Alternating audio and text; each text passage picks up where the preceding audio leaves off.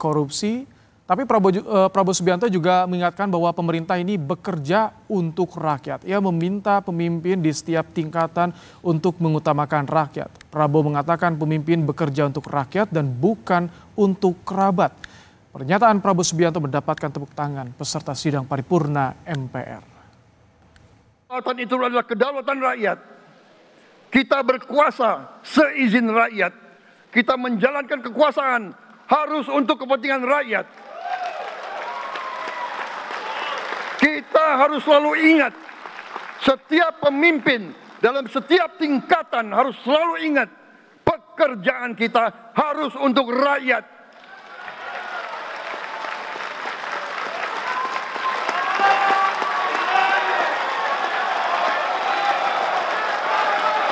Bukan, bukan, bukan kita bekerja untuk diri kita sendiri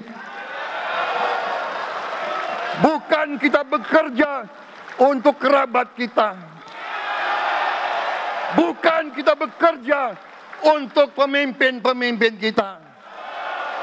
Pemimpin yang harus bekerja untuk rakyat.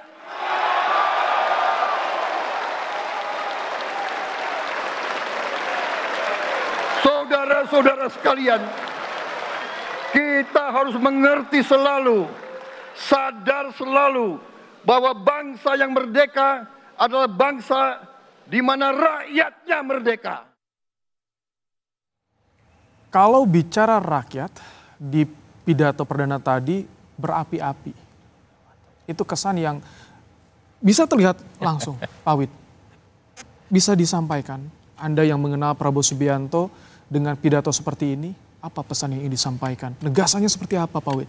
Ya, Pak Prabowo ini sangat-sangat concern terhadap rakyat.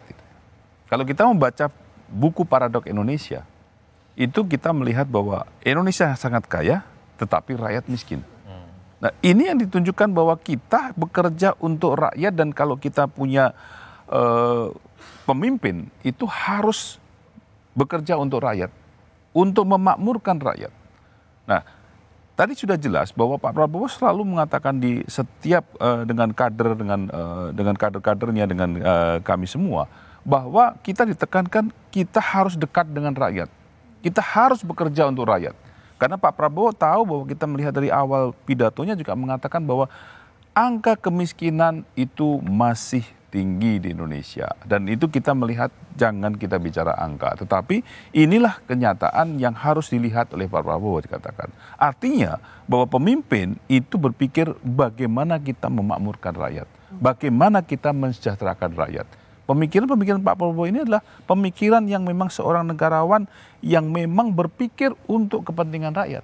Dan ini adalah satu hal yang uh, Pak Prabowo sekarang ini sebagai presiden ini adalah salah satu uh, blessing untuk rakyat Indonesia bahwa nanti ke depannya kita akan uh, menuju kemakmuran dan kita akan diberikan satu kesejahteraan dan kita bersama-sama bisa menikmati apa yang menjadi kekayaan kita semuanya. Hmm. Jadi ini adalah merupakan satu uh, bentuk di mana Pak Prabowo itu menginginkan bahwa kita ini sebagai negara kaya juga kita kita menikmati apa yang ada di dalam uh, negara ini. Tidak seperti sekarang yang selalu disampaikan dalam setiap kesempatan dengan di buku Paradok Indonesia itu. Makanya kita melihat program-program Pak Prabowo swasembada pangan. Swasembada pangan ini sangat penting karena bagaimanapun juga bahwa kalau rakyat itu sudah bisa makan, maka tentunya kita ini akan sejahtera dan kita akan makmur dan kita akan diberikan okay. uh, swasembada Baik. pangan itu.